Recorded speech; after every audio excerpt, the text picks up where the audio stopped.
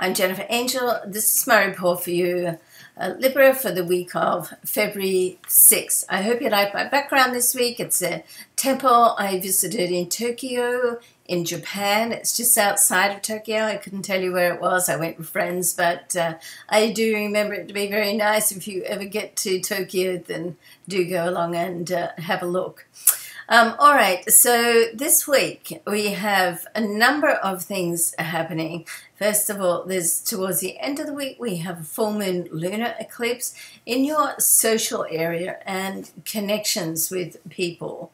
Uh, and the moon is in this area and the sun is right opposite. For there to be a full moon, it's an opposition. There are quite a few oppositions with the moon this week, so it does heighten emotions. And certainly through your um, connections with people and social outings and you know the, so it can be highlighted during this time who is on your side and who's not on your side.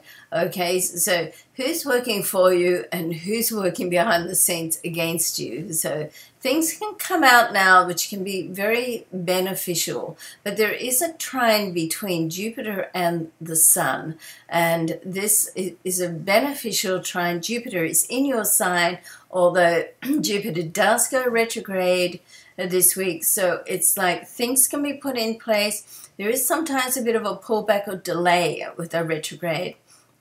But I don't mind Jupiter so much retrograde because, uh, you know, you can get almost a little bit too idealistic with Jupiter, and the retrograde helps to ground it and make it real. So, in that sense, Mercury is on the move and moves into this area of connections. So, being able to have discussions with people, it's going to be a very revealing week, I feel.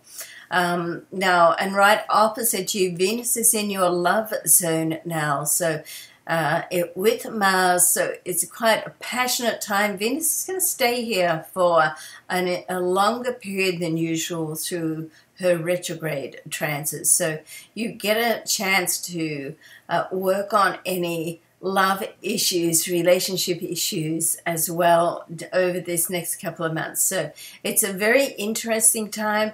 There's opportunity. Uh, there's stages where you can be, excuse me, pushed out of your comfort zone and have to deal with things that are perhaps a little uncomfortable but it helps to make up your mind and give you clarity and move forward. So um, try not to worry about the awkwardness because it, it, when you get to that sort of point of feeling a little bit sort of messy or uncomfortable, it's a sign that things are changing and you're moving forward, okay?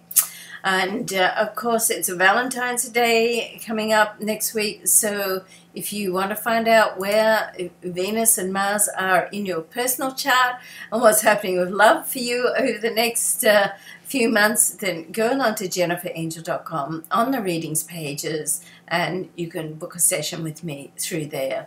I have lots of free complimentary material on the site as well. So you can get your daily horoscopes, monthly, weekly, lots of articles. Okay. I hope you enjoy the site. Thanks so much for watching and uh, love and luck to you and we'll see you next week. Bye for now.